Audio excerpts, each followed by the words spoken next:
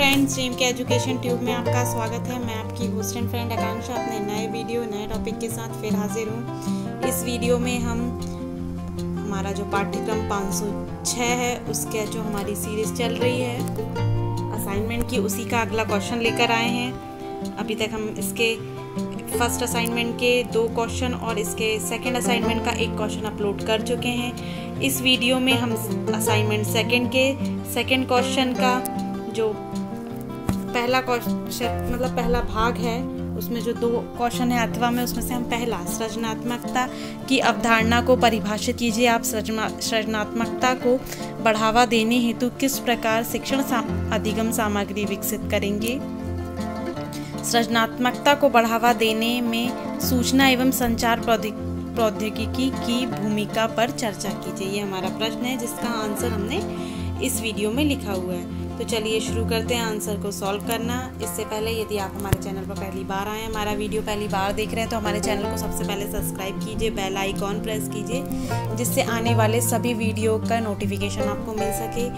आप लोगों की डिमांड के अनुसार मैं अभी असाइनमेंट पे वर्क कर रही हूँ और जैसा कि आप लोग कमेंट कर रहे हैं कि मैडम 513 और 514 के भी सॉल्व वीडियो बनाकर डाली है तो मैं जल्द ही डालने का प्रयास करूँगी।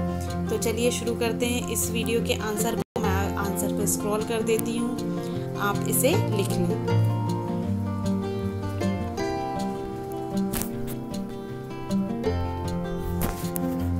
यहाँ पे पहले हमने थोड़ी सी थ्योरी के द्वारा इसको एक्सप्लेन किया हुआ है। फिर उसके बाद डेफिनेशन लिखी हुई है। बहुत इजी और छोटी डेफिनेशंस फिर जो सृजनात्मकता को बढ़ावा देने के लिए अधिगम सामग्री का विकास है, उस पर थ्योरी लिखी हुई है, जो कि इस क्वेश्चन में पूछा गया है हमसे।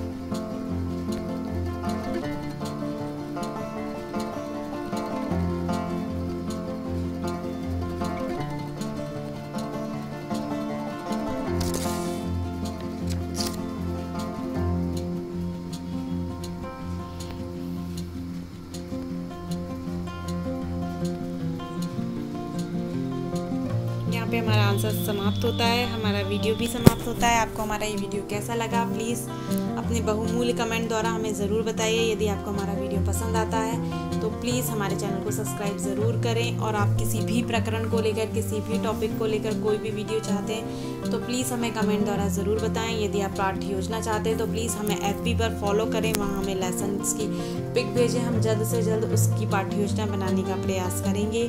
धन्यवाद।